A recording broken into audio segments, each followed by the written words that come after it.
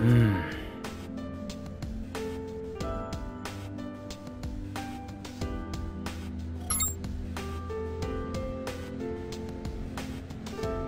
そうか。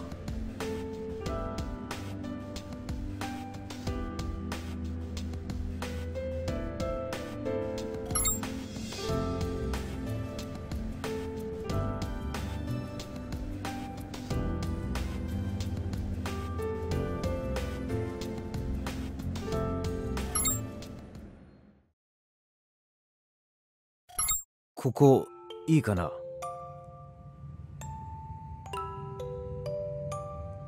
いや向こうの彼らとはちょっといろいろとあって。彼らに眠る姿を見せるのは気が進まない。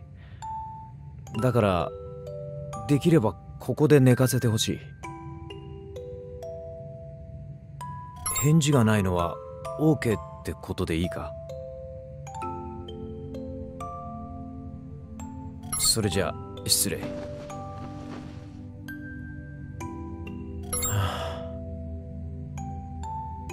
君は何も言ってこないんだな。てっきり彼らとの関係を尋ねられると思ったんだけど。いやいいんだ。僕としてもその方が気が楽だ。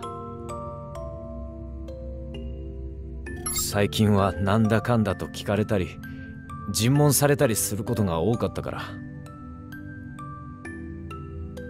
よく知らない相手と話をするときはつい身構えてしまって。でも君は違うみたいだな。おかげでゆっくり眠ることができそうだ。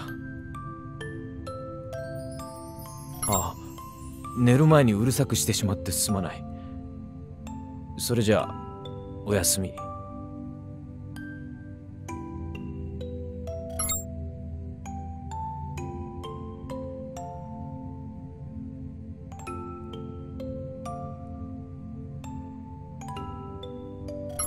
なあ。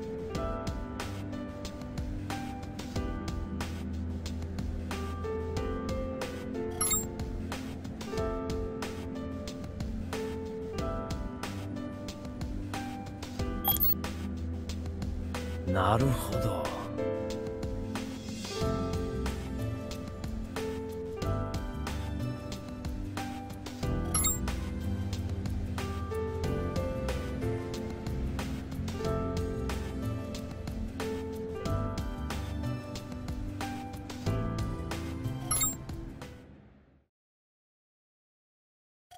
ここで寝るのは何回目かな？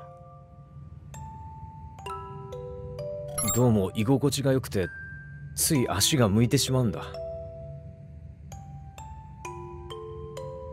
ここならゆっくり眠れるしな。それにしてもフルダイブのゲームはやっぱり馴染まないな。いい思い出がないせいかもしれないけど。今は AR の動きが体に染みついているからか。戦闘でもワンテンポ遅れてしまう気がするし。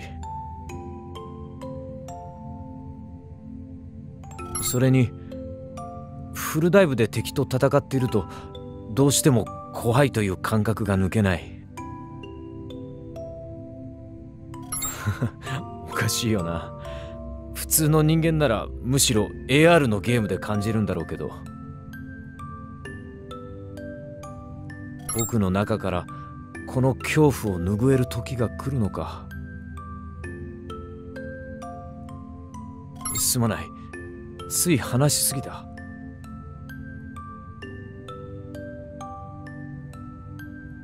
いつも一方的に語ってしまってるな。もしかしてうるさかったか？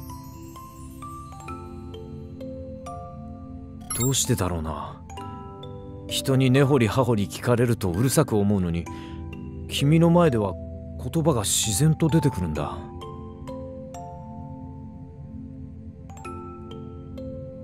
きっと僕は君といる静かな時間が好きなんだろうな。もちろん君が聞き上手だということもあるけど。よかったらまた話を聞いてくれ。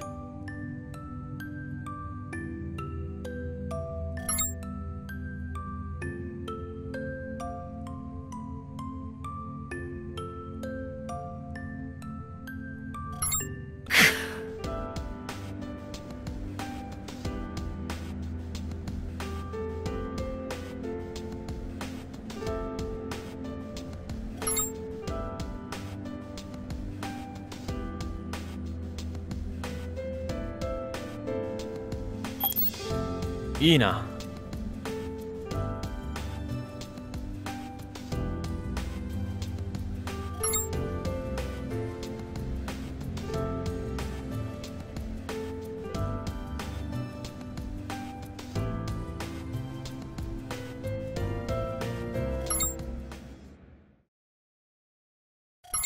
今日も来てしまったよ。気がついたら自然と足がこちらに向いていて。君と話をしているとなんだかホッとするというか安心できるんだ。話といっても僕が一方的に喋っているんだけど。そう。君は相手のことを詮索しないでいつも静かに聞いてくれる。だから君のそばにいると落ち着くんだ。こんな気分になったのは随分と久しぶりだ。SAO に閉じ込められてから随分と。あの頃から僕はずっと暗い闇の中にいる気がする。ゲームに閉じ込められ好きな人を失って彼女を取り戻すこともできなくて目の前にはいつも暗い壁があった。でも君と話しているとなんだか目の前が明るくなるんだ。世界が広がっているのが見える。やっと VR の世界にきちんと向き合えた気がするよ。このまま君と一緒にいれば僕も少しは前向きな人間になれるのかもしれない。あ気がついたらまた恥ずかしい話をしてるな。ごめん。でも君はこんな話を笑いも怒りもせずに聞いてくれる。そんな人はなかなかいない。ありがとう。それじゃあそろそろ寝ようか明日も明日からもよろしく。